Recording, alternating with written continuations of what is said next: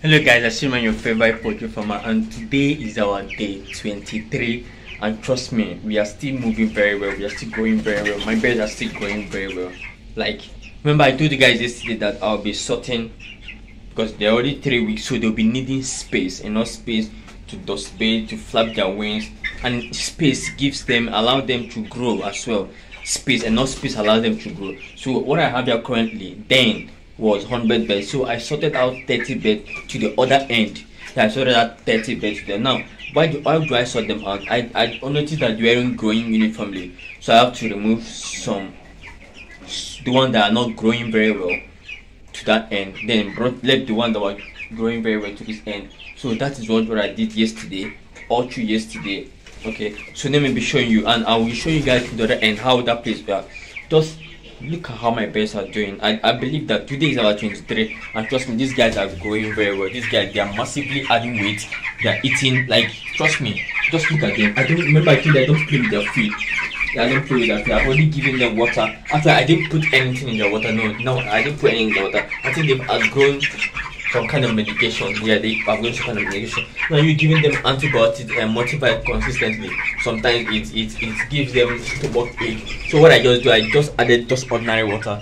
I didn't put anything in the water, just normal ordinary water. There was nothing added to the water. There was nothing added to the feed. Just normal water. So this is it. This is my bed. Like this is the feed I added to them.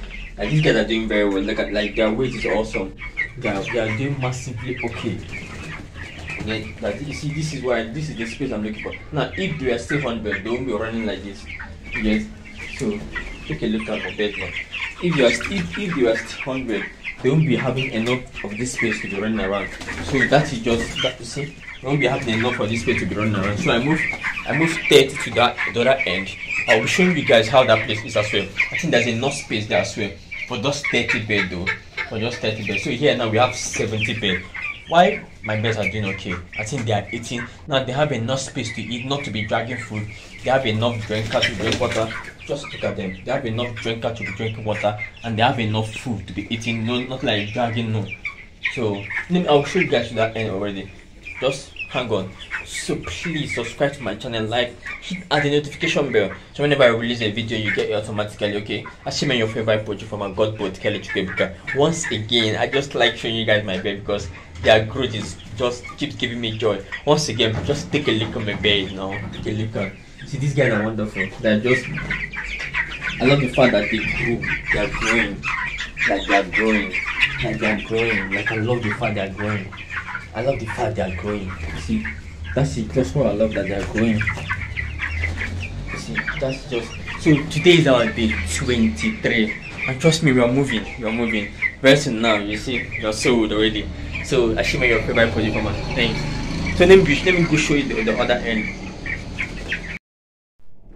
So guys, this is the other end of the bed. Right, I told you I sorted out 30 bed. Now these 30 beds are quite bigger ones Why the other one there are smaller ones so i sorted them out for them to grow spontaneously for them to grow or for them to grow uniformly so these are these are the other these are the 30 beds i brought out now this is how here is it's not really a big plate but it's just an extension from the other end you see here is a 30 bed 30 bed they have enough space here to display to flap to flap their wings to run around you see they are they are enjoying themselves and here is quite very comfortable. Direct sun is not entering into the house. Enough shade.